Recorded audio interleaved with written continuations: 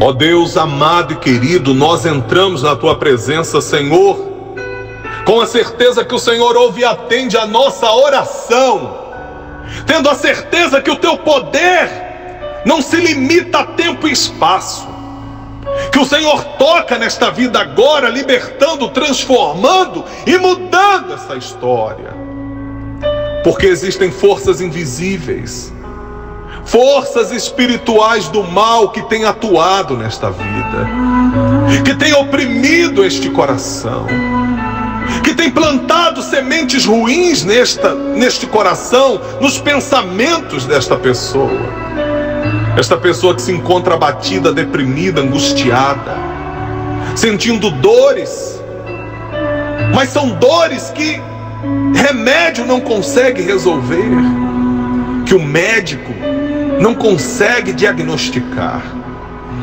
Forças espirituais do mal, forças invisíveis, têm tocado na cabeça desta pessoa. Por isso ela sente fortes dores. Ela sente fortes dores de cabeça a ponto dela quase enlouquecer. Esta pessoa que sente um peso nos ombros, uma dor nas costas, um peso nas pernas. Toda sexta-feira a perna incha. Toda sexta-feira ela se sente perturbada. Ela se sente impelida para beber, para encher a cara, para usar drogas. Porque ela tem sido dominada por forças espirituais do mal.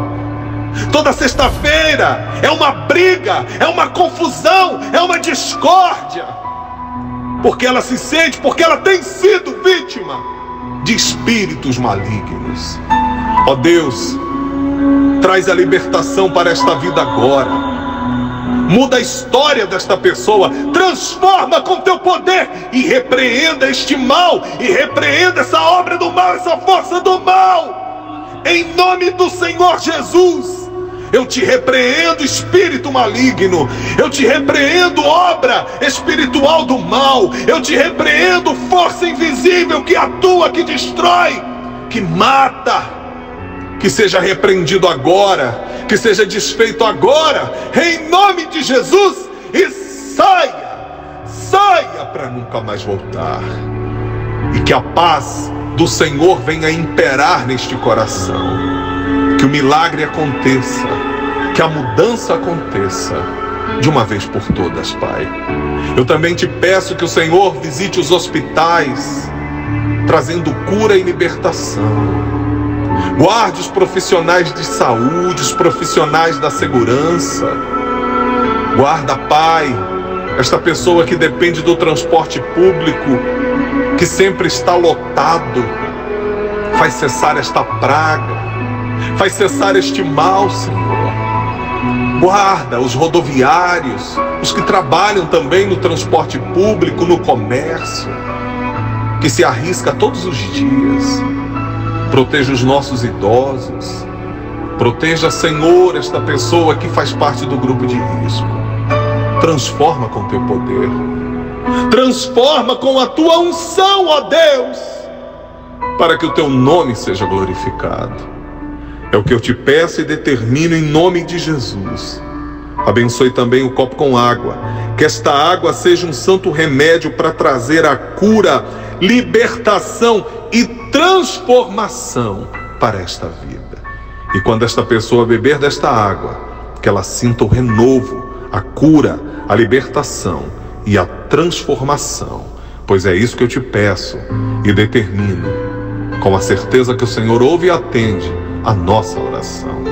Em nome do Pai, do Filho e do Espírito Santo, todos que creem digam amém.